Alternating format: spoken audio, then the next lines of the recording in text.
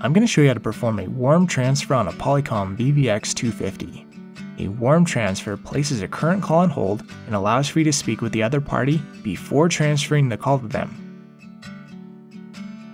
While on an active call, press the transfer soft key. Dial the destination party's internal extension or external number and wait for them to pick up. When the destination party answers, give them any important information and confirm that they would like to take the call.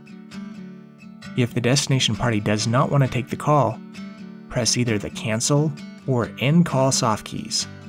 Although I won't demonstrate this step, following that action will take you back to the original call and allow for you to resume.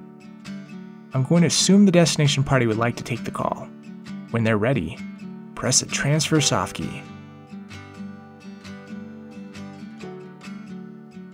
If you have additional questions, please view our online documentation or contact our support team who'd be happy to assist you.